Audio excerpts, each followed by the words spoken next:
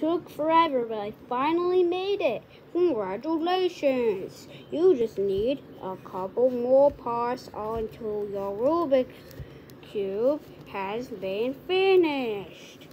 Wait, I have to do more? I've only, uh, I've only done the first one. How many things are there? One, two, three, four, five, uh, I lost count. What? Seven. Seven, I think.